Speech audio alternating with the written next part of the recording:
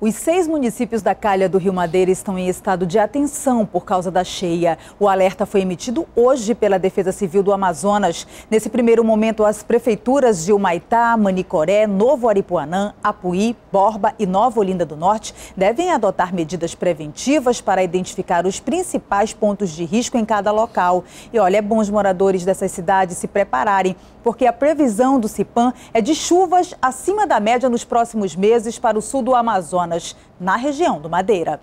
Aqui no Amazonas, mais de 20 mil aposentados ainda não foram aos bancos para comprovar que estão vivos. E o prazo está terminando. Quem deixar de fazer essa comprovação pode ter o benefício da aposentadoria suspenso. 28 de fevereiro. Este é o prazo.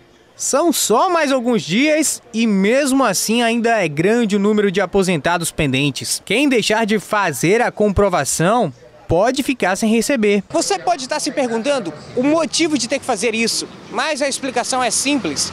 Esta é uma forma que o INSS tem de ter certeza que você está vivo e de saber também se há uma outra pessoa recebendo o benefício indevido no seu lugar. Até porque isso é fraude, é crime. Para comprovar a vida, basta ir à agência onde o benefício é pago e levar um documento de identificação com foto.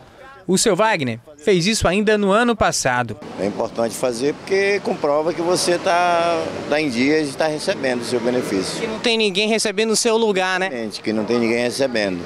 O senhor faz como sempre essa comprovação de vida? Eu faço no, no caixa eletrônico. Mas também pode fazer na agência se Posso quiser. fazer na agência, já fiz umas duas vezes na agência. É bom fazer isso mesmo. Imagina ficar sem receber? Não é para tanto, né, seu Manuel? Às vezes eu estou esquecido, eu, eu ouço e vejo na televisão. Aí eu me toco, entendeu? Aí eu passo no banco e faço. É. Porque é difícil, né? Se não fizer essa comprovação, acaba o benefício, o benefício ficando interrompido. Imagina o cara ficar sem dinheiro. Não renova. Mas, claro, é melhor evitar.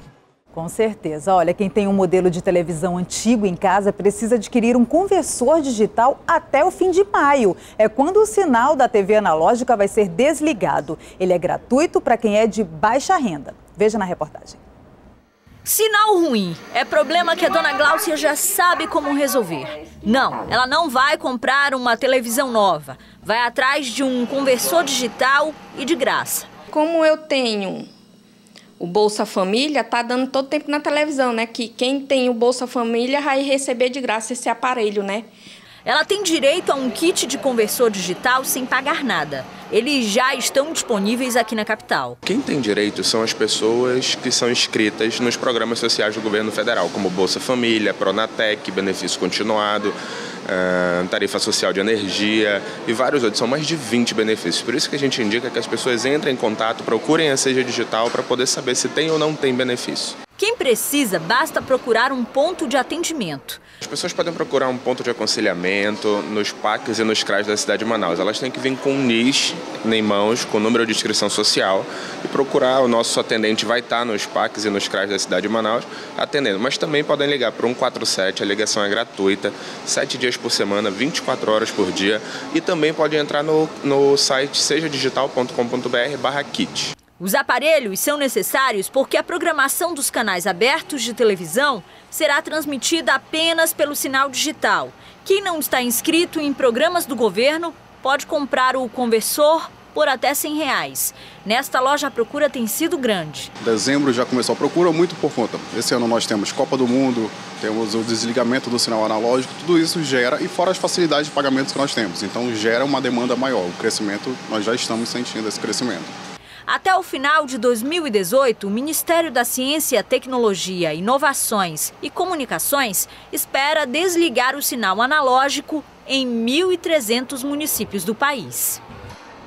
Essa edição do Jornal em Tempo termina aqui, mas você também pode acompanhar o nosso conteúdo no portal Em Tempo, na nossa página no Facebook e também no YouTube. Uma ótima noite, um ótimo fim de semana para você.